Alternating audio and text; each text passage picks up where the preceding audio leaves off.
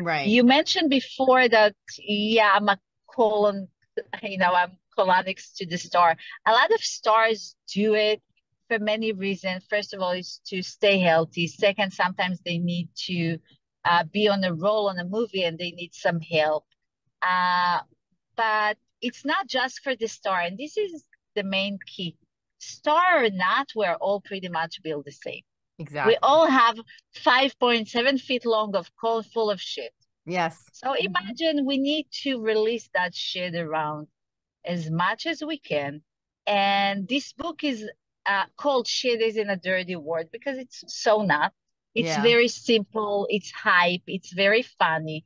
You will find yourself as a reader laughing from time to time and related to so many subjects. And there is so many surprises. I mean, every day when I meet client, there is always that surprise face of what? I didn't know it's related. Fertility, anxiety, Yeah. depression, they're all related to the colon. Yes. And let me ask you that, Stacey. Do you take your car every three months to change oils? Yes, of course. You love your car, right? Right. Good. You love your body. Of course. So take it once a year to clean up. Yeah.